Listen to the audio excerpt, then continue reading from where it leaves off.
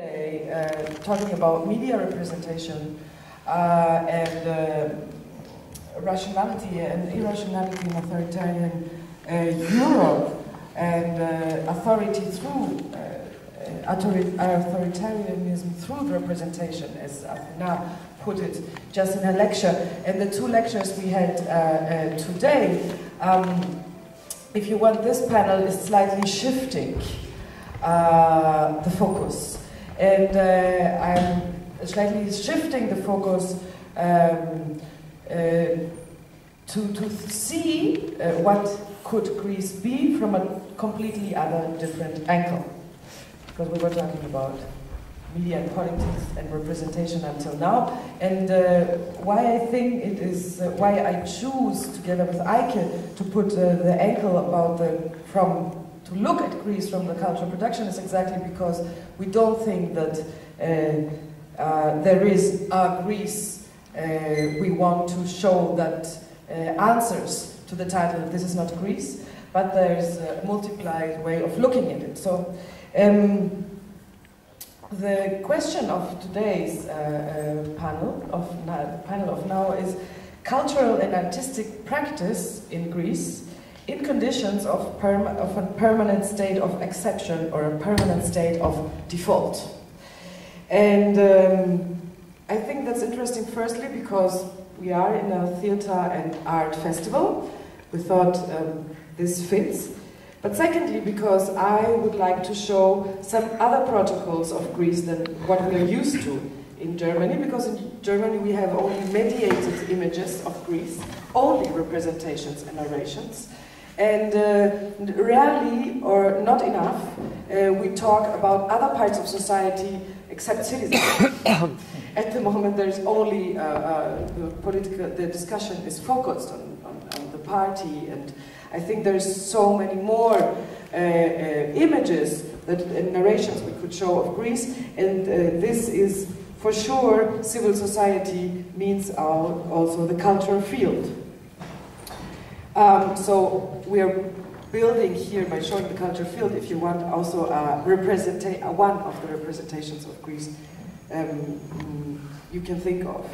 And the second question of the panel is if this culture and artistic practices in conditions of state of exceptions, if this have uh, results in aesthetical production, if there is an aesthetical consequence out of this uh, conditions of productions and crisis. And this is important for uh, the conference because we talk here about uh, images. This is what this is the issue of the conference. We talk about images, we talk about narrations, we talk about uh, products that are in the position to represent. So the question is also what kind of aesthetic of products does the crisis represent at the moment? So uh, we have with us, you can see it also in the program, but you will also introduce uh, yourselves. I think uh, range uh, uh, two culture producers from Greece um, that have uh, also different ways of looking at the situation. It's Anestis Azas, who is a theater maker who has been also doing theater in Germany and is a theater maker who can really say a lot in, about all the range of theater the theater field. In, uh, uh, in Greece, he, is, uh, he has been a part of the Embros theater occupation, which is a, a, a squad, a theater squad. He is also working with the big Onassis Foundation with private uh, founding and institutional money in Greece. And, uh, and, he will talk about uh, the structure of funding also of uh, theater without, what do you do, what kind of theater do you do without state funding? And he is also uh, the co-director of the experimental stage of the National Theatre together with Prodromos Tsinikoris. Um, so he can also talk about the state, the, the, theater you can uh, do in a, in, as a state theater. Uh, then we have uh, Poka-Yio, who is an artist and the co-director of the Athens Biennial, together with Xenia Kalpaktsoglou. I think the Athens Biennial is for me one of the most interesting um, art institutions in Greece because it's a day institution than an institution, I would say, and works in another way than we are used to. Uh, how uh, normally exhibitions work. And we have Anna Multa. Anna Multa is Multa in Greek accent. Um, Anna Multa is um, uh, a dance and theater curator. She is the dance curator of the Sophiensaele in Hamburg, uh, also the director in Berlin. In Berlin, also the director of the Tanztage, the festival Tanztage in Berlin. And uh, she uh, just did a uh, project which is called X Apartments in Athens as a German curator working with the institution in Greece. She will tell us about it. For me, it's interesting to have Anna as also a perspective that is um, looking at Greece also from a German perspective and does experiences now there or had experiences there. Good, and we will start with uh, 10 minutes inputs. Mm -hmm. Yes, with you. Hello. Oh, does it work? Yes. yes. Hello, uh, my name is Anestis Azas, and I, as Marga said, I'm a theater director. Uh, I started here in Berlin, in Germany, but since 2008 uh, I, I, work uh, mostly in Athens, but between Athens and Berlin. Um, maybe the, the first thing, uh, Marga asked, asked me to, to make an introduction about the, bit to describe the, the landscape. And maybe the, the, the, first thing to say is that uh, even, even before the crisis, the, the, the, landscape of cultural production, or at least theater production in Greece, uh, is not as we imagine it uh, uh by our experience from the Central European uh, structures. We don't have such a thing like uh, state theaters. There are only two state theaters in the whole country and a summer festival, which is also uh, public. Uh, the, the main uh, feature of the scene uh, was also before the crisis that it was uh, organized like a small private economy. we have something like 80 stages in, in Athens, which is a theater city. This is important to say. I mean, Athens has the tradition of of a, of a Theater Hauptstadt. Uh, people go to the theater and, and people make theater. Uh, this winter we had oh, more than 1,000 uh, premieres, for example, new plays. Um, but um, the, um, one moment when, when, when the whole thing uh, changed or seem that, that now, and, and it is important also to say that even before the crisis, uh, the, the way how people produced theater in Greece uh, was uh, very poor, I mean with, with very, very little uh, amount of, of, of, funding in comparison to Central Europe. Uh, 2011 uh, happened that they, they totally and, and definitely uh, stopped financing the, the, the free scene. Uh, so you have you have a, a small uh, scene, a free scene, uh, which is organized like a private econ economy and, and uh, lived a lot with the subsidies uh, from the Ministry of Culture. And the first thing that they did when the, when this began is that they totally cut any kind of, of subsidies. So and at the same time, they also reduced a lot the, the budget of the, of the, of the state theaters.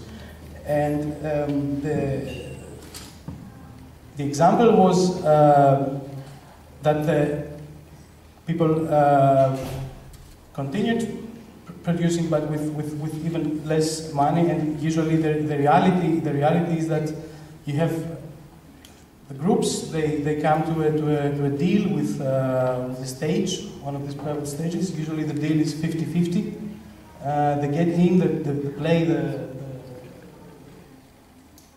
the, the, play, and they, they, they try to, to um, survive by the income of the, of the tickets. Uh, which obviously has also an aesthetical consequence it means that it is not possible in Greece to make, to stage uh, products with, with, with big ensembles. It's usually 90% or 95% of what you see is uh, either monologues or uh, plays with two or three persons because it's, it's not sustainable to, to make anything else than that in these conditions. Now, in this moment, in this landscape, appears a very uh, new thing for, for, for our uh, scene, which is the, the, the contribution of, the, of two big private foundations, uh, the Onassis Foundations and the Foundation and the Niarchos Foundation. Both uh, Onassis and Niarchos are uh, ship owner families. Well, the families directly have nothing to do with the foundations because this, these are people that already 50 years ago uh, dead. Uh, there's foundations uh, which are based in New York, I think, uh, or in London. Also, Onassis Foundation is in New York, Niarchos is in London. And they build up two very impressive theaters. I mean, Onassis Theater uh, began in 2010, and uh, Niarchos Theater is now built up and will begin next uh, year. It's built up on the, on the, at the seafront, very close to, the, to. It's a, it's a real uh, impressive thing. And uh, they totally changed the, the, the, the landscape uh, in terms of, of they are the only producers as we can understand it. Uh, I mean, they are the only foundations, the only institutions that can produce uh, professionally. Uh, the, the only two places where you can work under professional conditions in Greece right now. Um,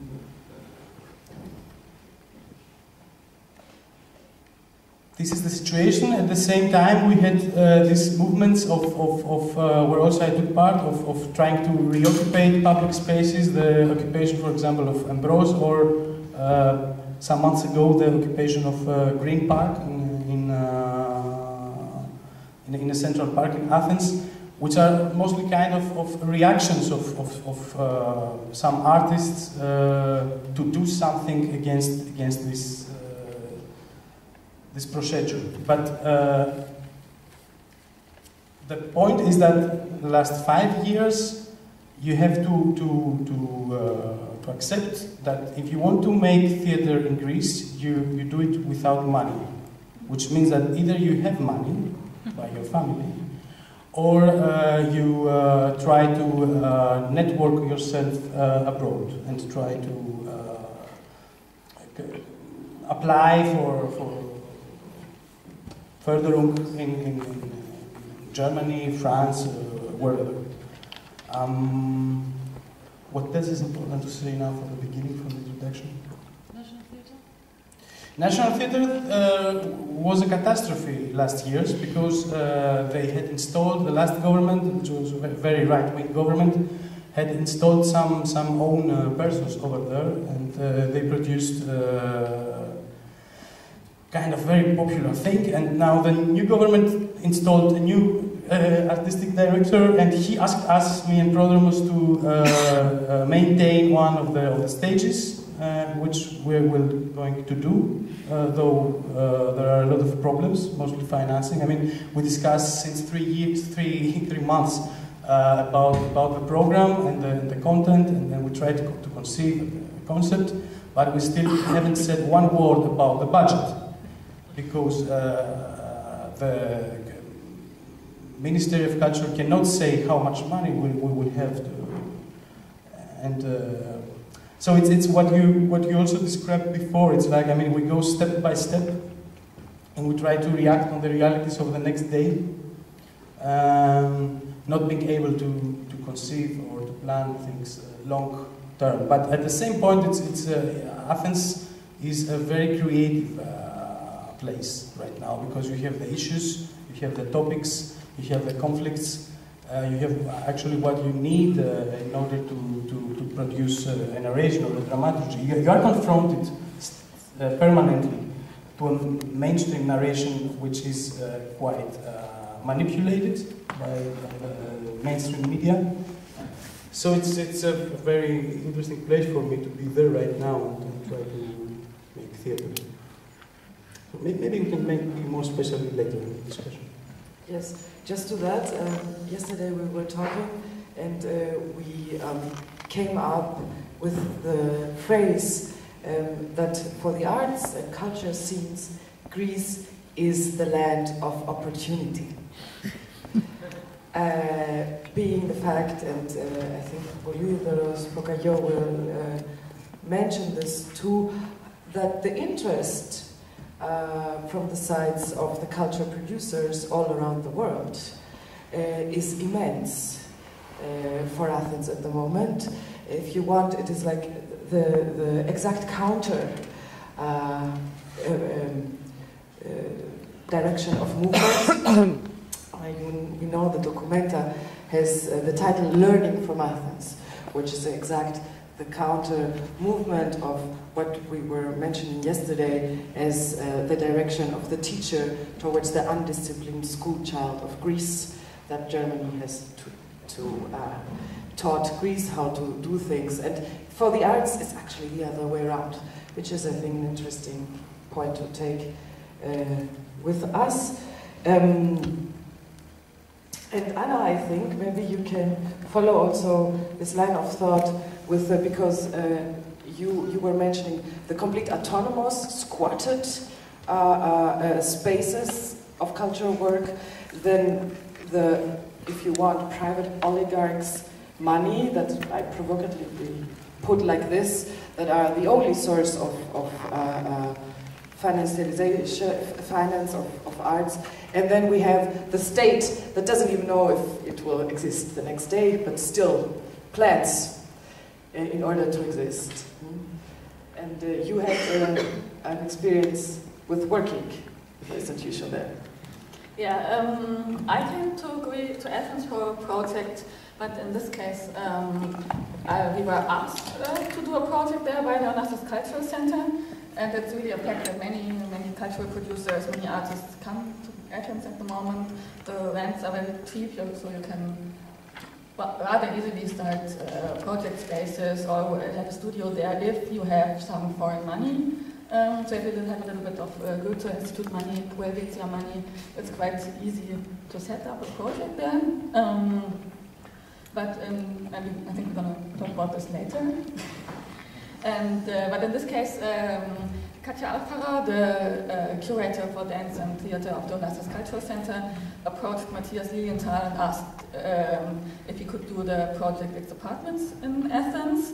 And his, his immediate reaction was, uh, what a crazy idea, you should, it's a very expensive project, just take this money and give it to young um, groups of the local scene. Um, and then uh, Katja explained uh, very detailed for what reasons he thinks this exactly this project is uh, important for, for Athens, which has to do with um, the need for, for also performance projects in the public and private space, and by going into the public and private space, of course, you can tell a lot of uh, the, the, stories of um, that are of normal people, of people that are not uh, normally heard in the in the media, and um, so and also her working in an institution like the Onassis Cultural Center, uh, she needed this kind of big flag flagship project by this famous uh, curator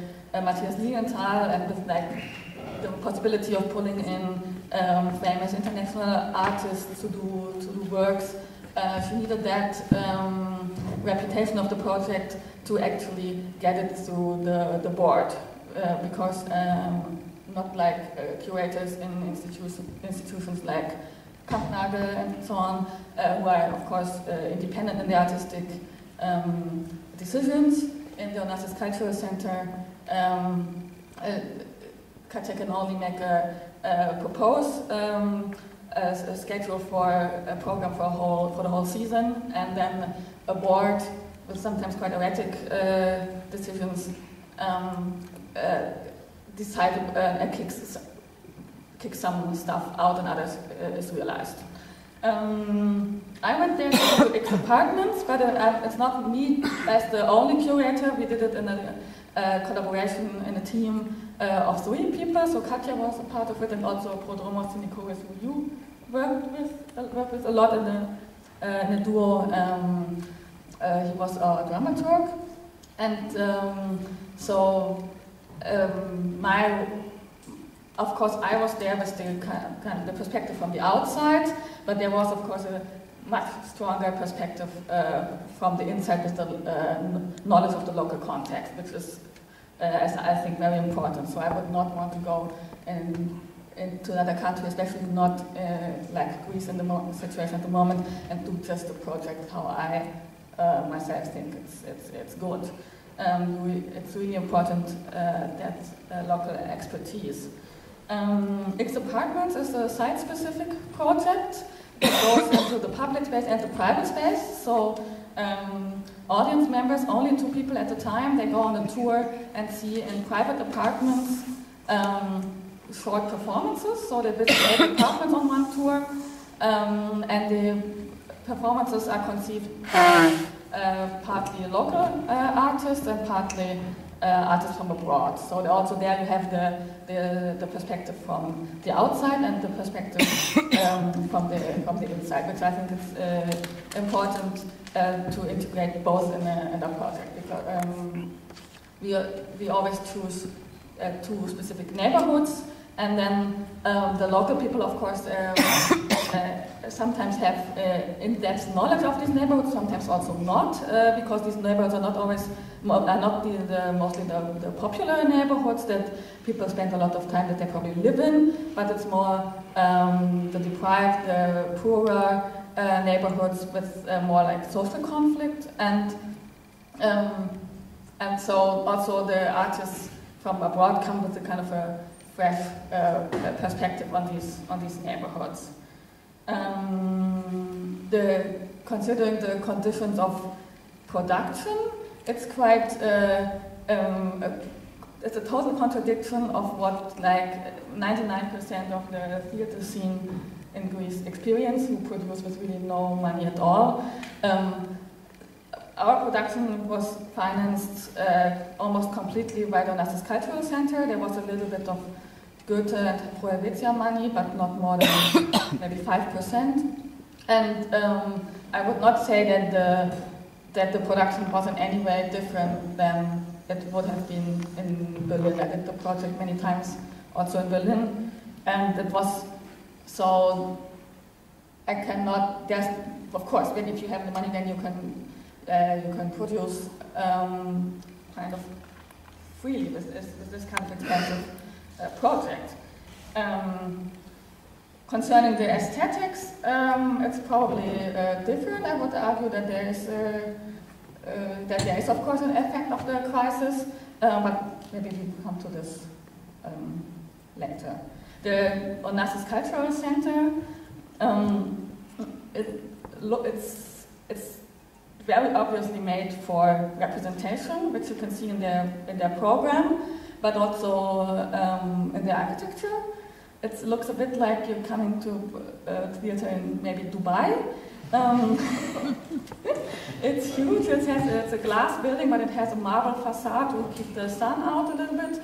And then inside, uh, there's a huge golden egg, and this egg holds the big, uh, the big theater with over a thousand seats um, a classical proscenium stage with balcony and everything. Like it was built in 2010. I, I would have thought nobody would build such a theater today because everybody actually would need a more flexible space. This space is not flexible at all, and they have two smaller spaces that are actually not very suitable for theater at all. Um, but actually, Katja does quite um, progressive experimental and very political program there. Of course, she also has to program the occasional Akram Khan to get the masters, but uh, she really succeeds in sneaking in experimental political stuff like this, like the, the projects in the public space.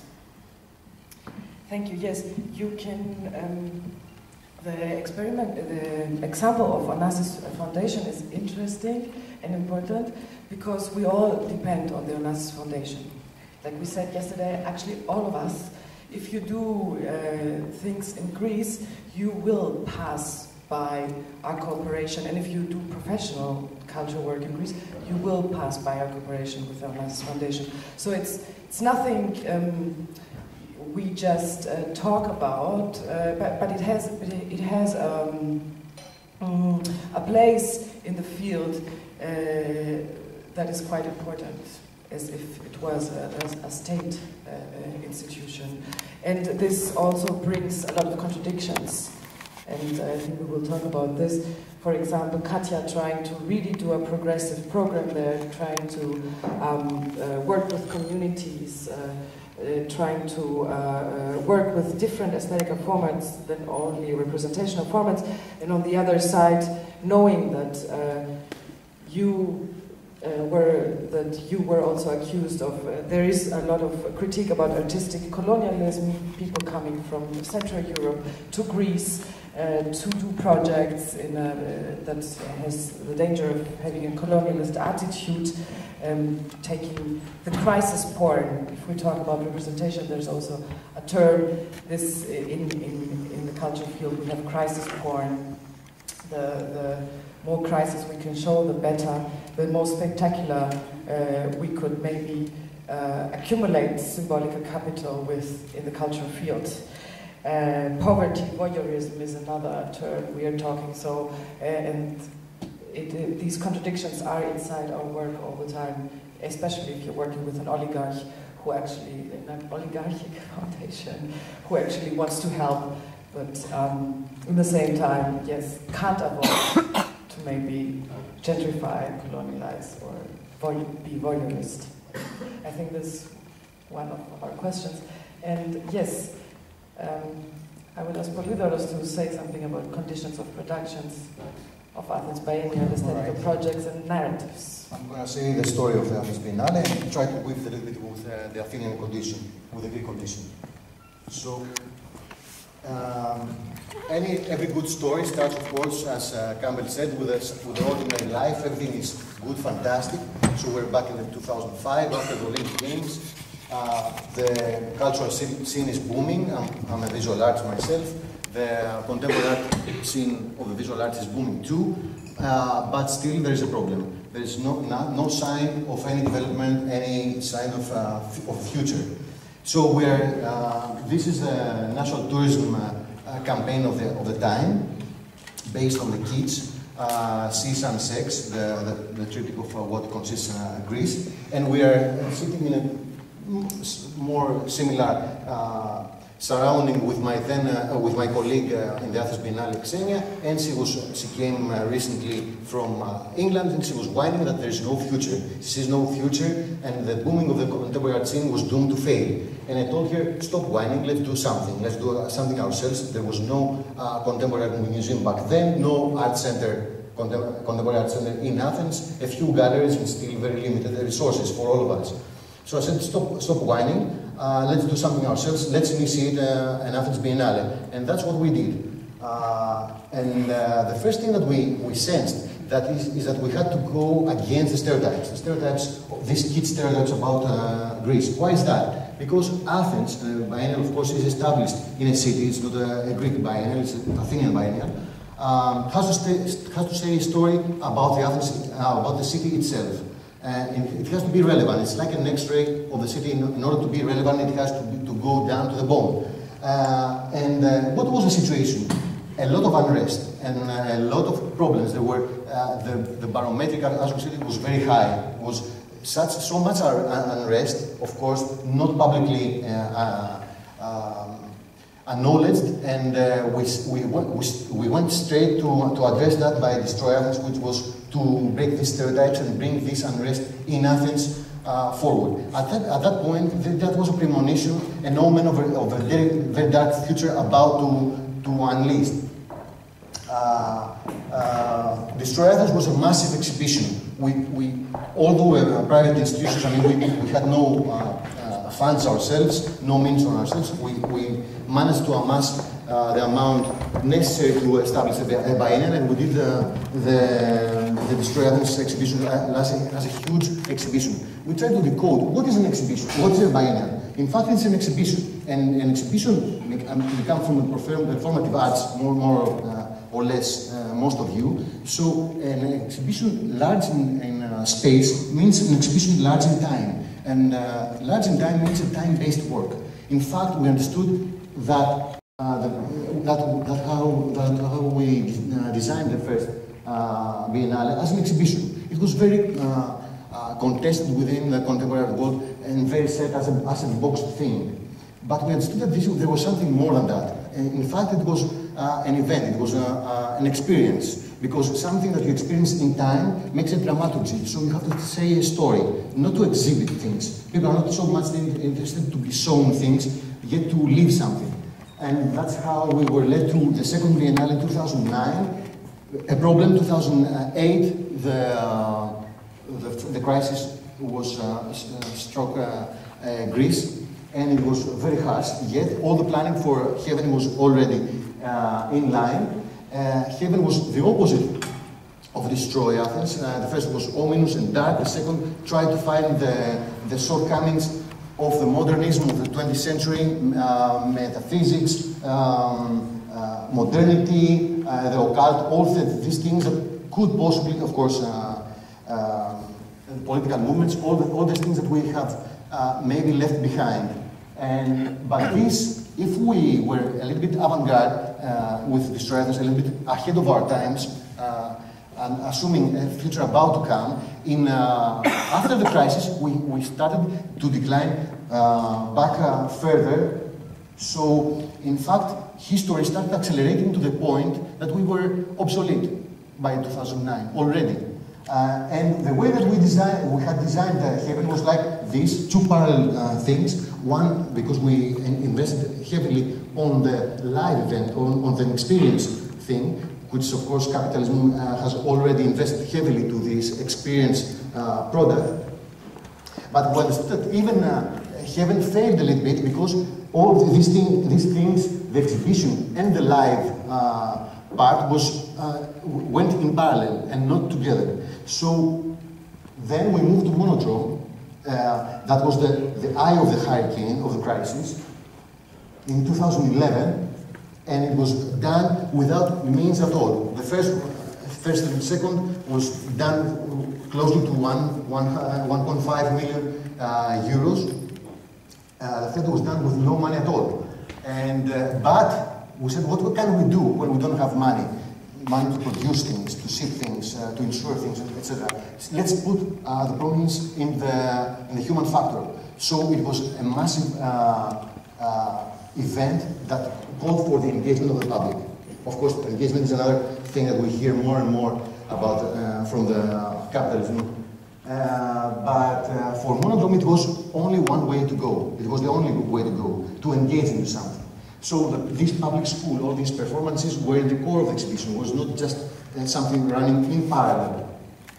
And then that moved us to uh, Agora 2013, but 2013, there was the Indignados movement and everyone was in the streets. So how could we be uh, relative with something that happened in the streets and how, how can we break the, the, uh, um, the ivory tower of contemporary art and go out and do something relevant? We had to come up with something that resonated uh, with what happened outside, with the movements. So we broke, this is the former stock exchange, it was closed, we opened it uh, for the first time uh, for the public. So it was a massive assembly in Agora. Agora was the name of the, of the uh, third uh, uh, Biennale, or the fourth Biennale. And in fact, what you see before in Monodrome, what happened is that we opened up the four sides of the box and uh, we let participation engagement was uh, turned into participation, and active participation. People don't want to be shown things, to be told what is important, in this uh, value system of contemporary art, but want to be also producers, and they are producers. I mean, we're, with our mobile device, everyone feels already uh, that has the, the, uh, the, power and the, the knowledge to be part of something. So participation was the most important thing uh, then, and uh, now it moves to the next step. Of course, Agora was uh, acclaimed, awarded, etc., etc. But what uh, it was curated by a collective curatorial of 40 people. Not even one single curator cannot uh, uh, get the grasp of what's happening. It's impossible to have a, uh, an important curator that comes for a couple of weeks and understand what's happening. And this is basically what the biennial uh, circuit is doing internationally. It has a, a, a big name that comes and shows uh, people what is important according to his agenda. But for us, it was different. We had to come from bottom up. So we made this huge open call, this assembly of uh, curators, social scientists, um, theorists, artists, etc., etc. But, but how can we move forward from that? Because still, uh, Agora was an event, and an event is not even enough, because this is highly commodified as well. Something that lasts only for one month or two months is not, not important. People are seeking something sustainable, something that can have a future. So uh, we designed this uh, coming biennial from uh, 2015 to 2017, coinciding with uh, Documenta. In, uh, Margareta mentioned Documenta. Uh, the current artistic director of Documenta came to the opening. He was amazed from what he saw there, and he said, and he went back to his room and he finished his proposal, and he, he proposed, and he was granted the, the task to take a the task of Documenta. In fact, that's very interesting because when we started back in 2007, we had a, a secret agenda ourselves to put the contemporary art uh, world of Athens in the, in the international map because this was an uncharted area, not exotic enough, not a metropolis, nothing. Uh, like uh, Wyoming or Wisconsin, nobody cares for that uh, type of places when you are in the States. So we felt that Greece was something like that.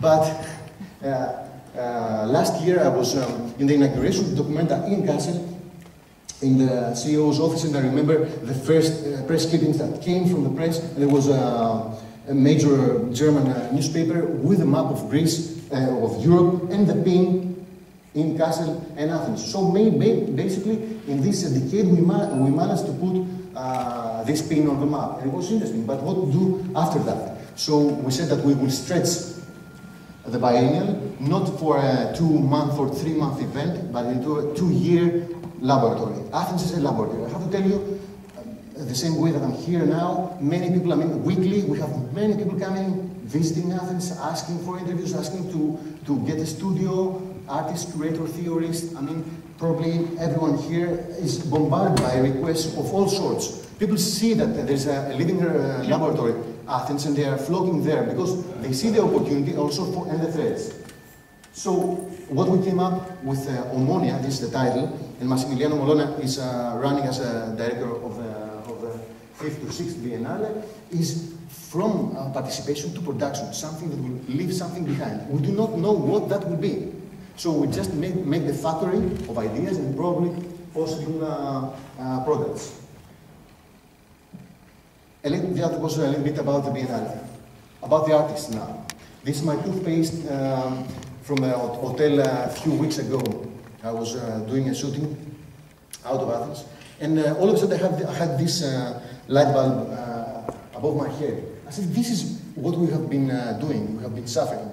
To, to finish a, a tube of toothpaste, it takes something like two weeks or three, three weeks. But then, when it's in, at that stage, it can last for another week also. I managed to have the same, the same, uh, the same tube for another half, uh, one week. I said, how are we doing that? We're burning the fat, and in fact, I have a lot of uh, lab myself, so there's a lot of fat still to, to burn. And this is what we're doing. I mean, we're like cockroaches. The, the artists and uh, cultural producers in Greece have learned to survive into something very difficult. We had nothing before the crisis, and we still have nothing. So we are kind of equipped to survive this, this condition. And this is, brings us to something like a privileged uh, condition. And this is the, the, uh, the referendum day. Again, I was uh, out of Athens uh, in an island shooting my, my new film, and there there was this uh, public feast. We have these feasts in, uh, in islands and in rural Greece. They come up with religion, but there has, there has nothing to do with religion. And people were dancing and singing the same time, the same hours that was um, the, uh, the future of, of Greece was lingering, and people were there holding hands and, and, and dancing. And this was 6 a.m. in the morning, all night. So there is something there that makes me feel a bit, a bit uh, optimistic. You know, this is uh, my studio and my new works. There are so many stereotypes there are so many stereotypes about Greeks, what we are and what we are doing. In fact, I believe there is a, a huge I would like to ask someone that maybe know about that. There are so many linguistic uh, problems. We call it stereotypes, but it's something much different. We have so many different values. For you, guilt equals uh, debt equals guilt. For us, in our language, and we, we don't understand this, we understand that debt equals pride, χρέος.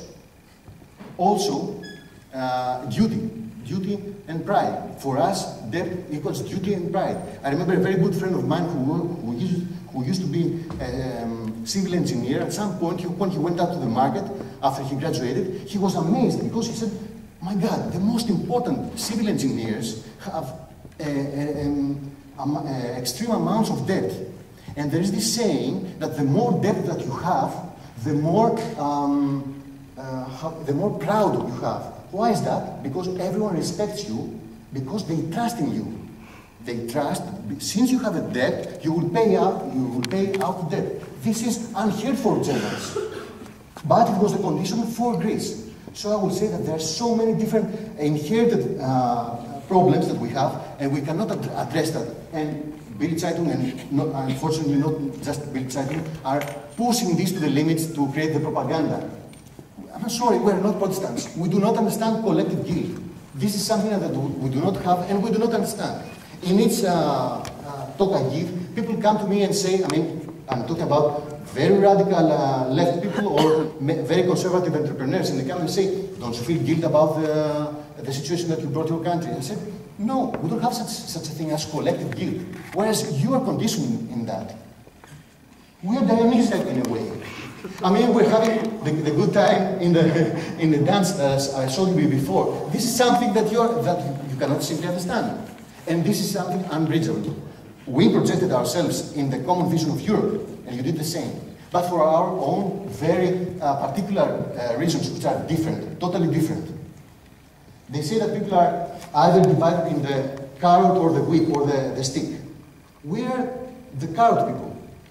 And maybe I, I, do not like to generalize or stereotype, but there is a tendency here. The people are, of the north are more the, of the stick uh, or the whip type of people. You, you wear towards, you're away from. And this, uh, this thing brings so much misunderstandings in a, day, in a daily life. So I would say, just come over, use our uh, way, and maybe we will find out something together. That's it.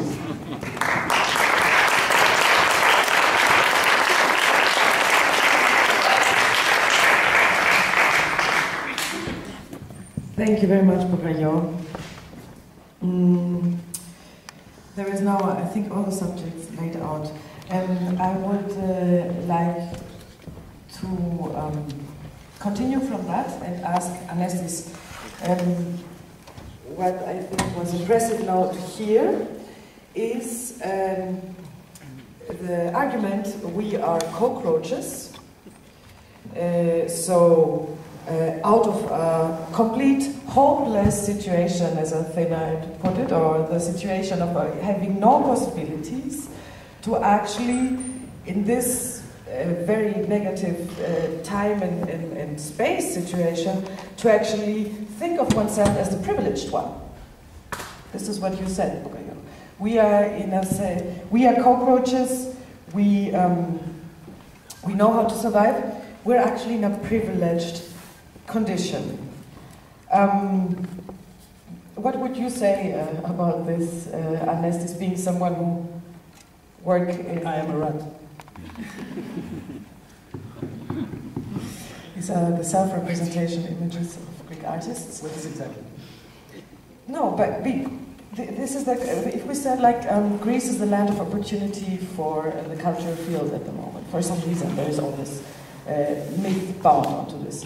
And uh, if Poka-Yio says actually because there is for us not uh, the normal conditions of production, we actually profit in this or that way by being more, being like cockroaches, being able to survive whatever happens, being able to produce whatever happens. Maybe also, and this is what I would say about what Poka-Yio is doing, maybe also to invent new times, new ways of doing culture by, for example, doing a two years program for a biennial, which is another way of curating that to do a big festival, to say we want to, to create something sustainable in the city because this is actually how what society does. It's not that the art does it. So I, my question would be, would you, would you see something similar, or where, how would you react to this argument? You're in a privileged position. Uh, we definitely are not in a privileged position, but we can uh, have nothing else to do. I mean, uh, uh I think that uh, I guess it, it, might be like that everywhere, not only in Greece, because what we uh, we do, we do it out of a necessity. We don't do it out of of of of, of, of, a, of a desire to to to be rich or, something. Maybe to be famous, but definitely not to be rich. So uh, we uh, we have to continue uh, with uh, any means that we have to. Uh, yes. Oh. And uh, I remember your last play, what that you did in Athens Festival. Uh, I had also other friends uh, working for the Athens Festivals. The summer festival is the biggest uh, festival in Greece. Uh, theater festival is one of the few that has money. Uh, interestingly enough, uh, the money for the theater festival comes from the tickets of the train. And in the week of the referendum, the Syriza government actually said that public transport is free since there was no money in the banks, as you know. And uh, the Syriza government wanted to make it more easy for people to uh, uh, go from A to B, so public transport was free, which actually resulted into the Athens Festival not having money to pay the theater productions. You know, this is, it is uh, so simple in Greece at the moment with money. So many of my friends didn't know if they will getting will get paid for the premieres, etc. And um, uh, what I, I was impressed by your theater piece that I saw only one uh, rehearsal. Uh, you were rehearsing in these two weeks, in the referendum week and in the 13th of July week, and uh, actually before starting your piece, the whole first scene is a, collective discussion among the actors about how can we actually be in the rehearsal space and do theater while out there um, time changes every hour, you know, the future changes every hour, and every hour something else could happen that will change the way of things are going. And how can we plan a theater piece uh, like this? Um, uh, maybe why did you do it? And is this is this not an aesthetical uh, aesthetical result? Aesthetic result of uh, the crisis? Uh, the point with this scene was, I mean, we uh, that was a real strike, strike. How do you say strike? Struggle. Struggle. Disagreement. or disagreement. Disagreement in the, during the rehearsals of uh, if we should continue because there was a moment where some of the of the, product, of the, of the productions stopped rehearsing. Other people said uh, made decisions like, okay, we will play, but we will play without costumes, without settings. We will just go and say the text. And uh, so every day there were people going in the, in the, in the, in the cash, uh, the box office, with, a, with, a, with tickets that, that they had already uh, uh uh, and said, okay, there is no uh, cash, can I change my ticket and get some cash? And in this situation, we had, we had to, make, to, to, bring the play to, to, to, the premiere because this is what we, we have to do in any kind of situation. So there was this struggle in the, in the team, what are we going to do, how are we going to, uh, to proceed, and uh, why, especially now, uh, with all these uh, problems, uh, are we making a, a play about uh, refugees, because the play is about uh, uh, uh, shipwreck. Um, shipwreck. Yeah, with, shipwreck. with refugees that happened two years ago, something like the small Lampedusa of Greece. And a lot of refugees were drunk, and it was a horrible story. Um, yes, so we tried to, we, we decided to, to thematize it and, and, and uh, put it uh, even in the prologue of the, of the play because the point is about the cockroaches story that we, uh, we do struggle uh, uh, with, with the same uh, machine of bureaucracy and of a totally corrupt state. And we have to say that also because I have the feeling that in all these conferences we have a projection of Greece, which is, which is quite uh, impressive for me. I like it. You speak about Greece on an ideological way, and this is, this is very, very, very uh, fascinating. But uh, if you have the experience of Greece, then uh, you also have uh, to understand that it is, it is, it is a, permanent struggle against a machine that doesn't work, and, and it's a permanent struggle also for your basic rights. You have, for example, justice doesn't work. I don't speak about the economy because economy, okay, it's very important, but we cannot solve it uh, as a civil society. But what we could maybe maintain or try to, to solve or to move a little bit is other uh, values uh, on a, on a what, we- what, what we call this uh, Bürger, uh, yeah, civil rights and, and, and, and democracy. So we, we, we, we have also to defend because there is a lot of criticism against democracy, but we have to, to about, about this new new liberal, liberal blah, blah, blah democracy, how it is practiced in Europe right now. Yes, of course. But there's one thing that we still have freedom of speech. And this is very, very important because if, if we compare it with our uh, neighbor countries, because geographically we are between the Balkans and the Middle East, we shouldn't forget this. We still have some rights in this which we have to fight for. And this is, I think, the most important thing when you produce, uh, when you make theater. And this is also the thing, your, your, your um, ansatz. Um, Approach. yeah, the, the point where you begin from is that you have to, to uh, a very certain enemy, a very certain machine to fight against. So that's my point. Um, we can come into how do you build democracy or organization as a cultural scene that you're doing also in Athens. Um, to you, Anna, um, I, I do the very mean thing to ask you the meanest question. and to, because there is a question also, and, and actually I, I know this um, reproach especially uh, towards Adam Szymczyk, uh, the director, the artistic director of the documenta. There is a lot of narration, for example, this moment in Greece about this artistic colonialism uh, term uh, I mentioned before. And you, as being a German, uh, who went to Greece in order to uh, curate a program that Matthias Lilienthal, another very important German, um, invented together with a private institution in order actually to open uh, access to people to private homes of impoverished neighborhoods.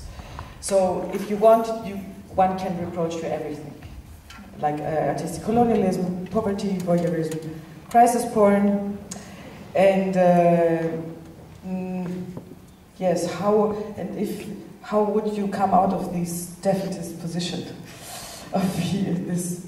Yes. I mean, uh, we got the accusation um, of the, the colonialism, poverty voyeurism, not uh, actually at all because it's, it's, uh, it was not a German uh, project, but it's in, in its, from its origin a German uh, concept, um, but it was not perceived um, in Athens as a German project. It was perceived as a project of the Onassis Cultural Center, but this, of course, then had another another tale of, of consequences um, because they are the rich uh, players in the cultural scene. And um, in January, we got really, really good reviews from the press, but there were also uh, reviews saying, "Oh, um, you're letting people look into the keyhole to uh, to the poverty um, of the people. You saw the misfortune, um, and uh, this is not.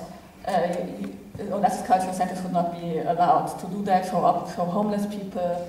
Um, I mean, to turn this, this accusation around uh, means, uh, okay, there is a cultural player with a lot of money, but what you want from them is just to do um, harmless, rep- uncritical representation. Um, that would be the the the, uh, the other uh, possibility.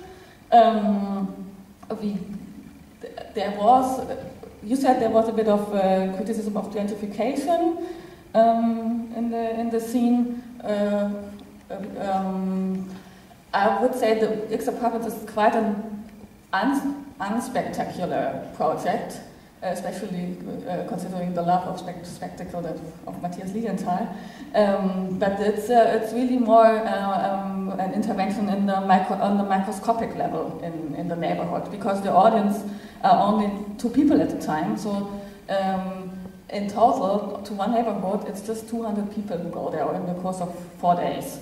And so it's very on a very on a level that you, if you are in that neighborhood, um, you, you don't see that project at all. You just see two people walking on the street, which you see every day, all the time. Um, so I would argue that the gentrification effect of that project is uh, rather neglectable. What the project definitely has is the voyeuristic aspect that you mentioned, and this is something that we always, and I always talk about with the um, inhabitants and with the artists, of course, very openly. Many artists uh, also in their works um, deal with this openly with that, of course, with uh, that issue, uh, because uh, opening a private uh, place and letting in uh, audience is, uh, is of course, pro problematic. Um, and, but we also deal with it openly in the, in the press conference, in the curatorial statement. Um, that it's, it is a voyeuristic project, but we try uh, but by, by having only two people in, in the audience, um, we try to break this voyeurism also and turn it around because the people in the apartments they also look they also look back, uh, and the, the position of the people who win the ballot enter uh, they don't know what the, the deal is in, inside. Uh, the rules uh, are made by the people in the apartment, and so they are more also in a vulnerable, vulnerable position. Um, what, what I think is interesting is who do you address your voyeurism to? And um, the, the, it was, you, you did a research about the private apartments that we could find of rich people. So if there is a rich neighborhoods, that we could go there and also go to the apartments. And you said it was not interesting. And I think it's, uh, for me, this was an interesting point. Why is it not interesting? Is it a projection? Um, that poverty or pain is more interesting. I guess poverty is more interesting, and the fact that it is really dissident to uh, to the rule.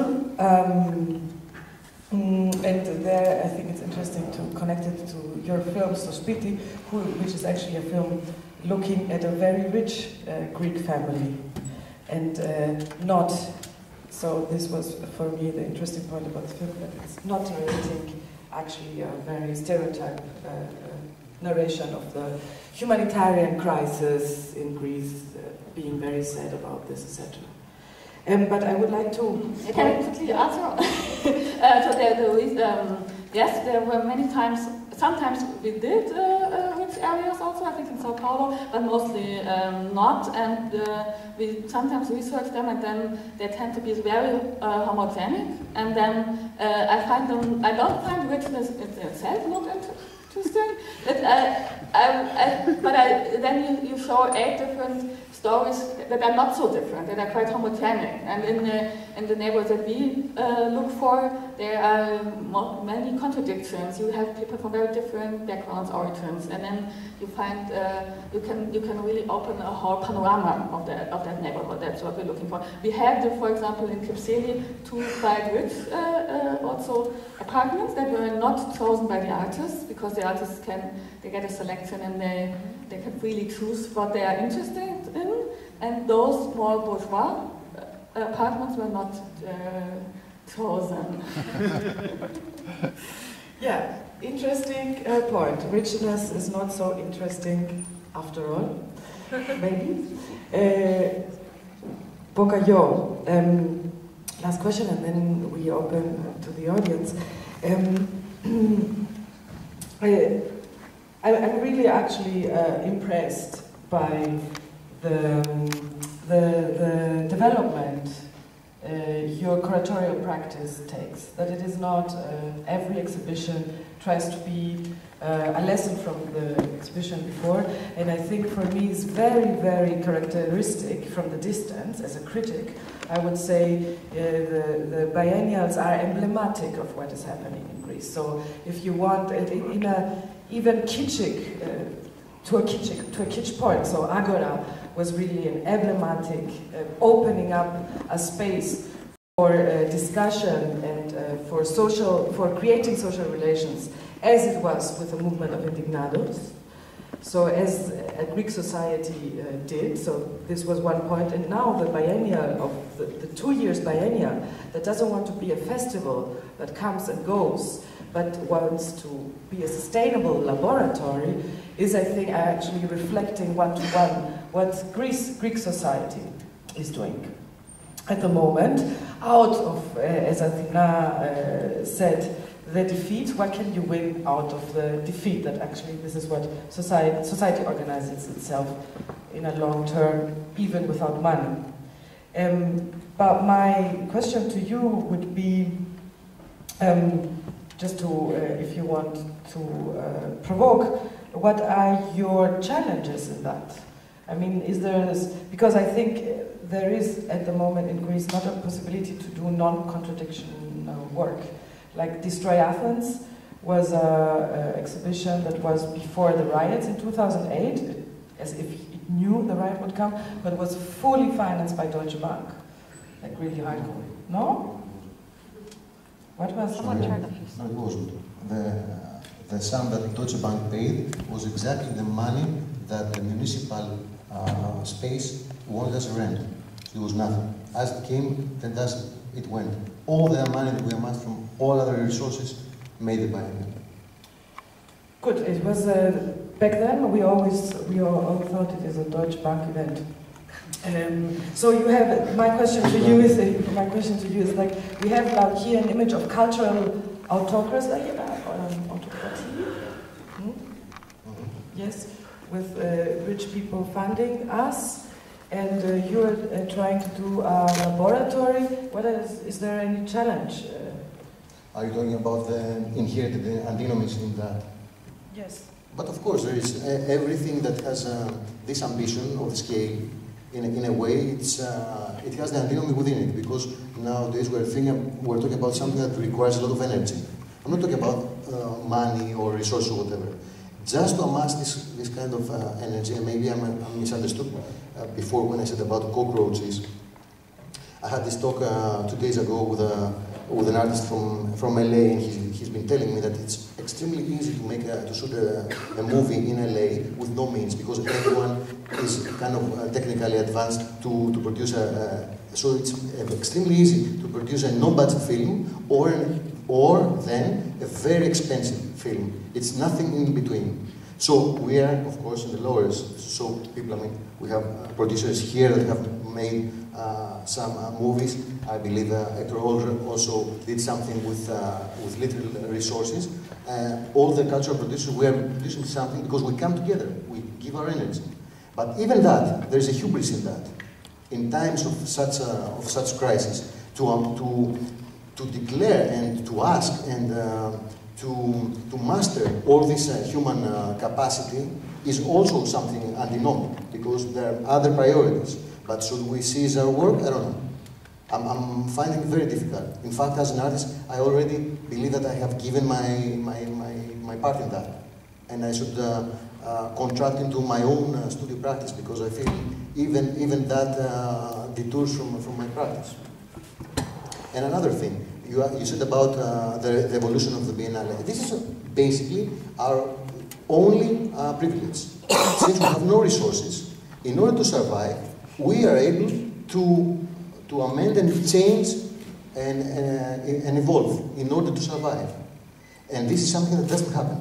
For example, we are here in a, in a massive uh, festival. It has to confine with some with some levels of uh, professionalism, of some levels of even the, pro the program that you are expected to find here. I mean, yesterday we were in production, in production that we didn't like, for example, and we understand why this is necessary for that. We understand why Biennial has the artists, the A-rate artists that it has, an international uh. But for us, it's not the way. And another uh, important lesson, there just few lessons, I, I believe I've shared most of them with you, that production changes the content, and production is equals the, the, the problems that you, that you have. So within our problems, and that's what we are all doing, the cultural producers in Greece, we try to find the ways to survive, but also to make something meaningful. So out of the problems come a form. So uh, from means to form, that's something interesting. When we first started uh, the, the Biennale, we asked uh, some of our colleagues, fellow curators, fellow artists, like us. We said, look, you know us, we've been working so many years together. Come and work, let's do something. Of course, voluntarily. I, have been doing that voluntarily. Come, come and do it with, with us. And they said, no, I'm a curator. I'm not going to, to uh, mess my, my hands with something dirty as production. But no, in fact, for us, for all of us, production is our work.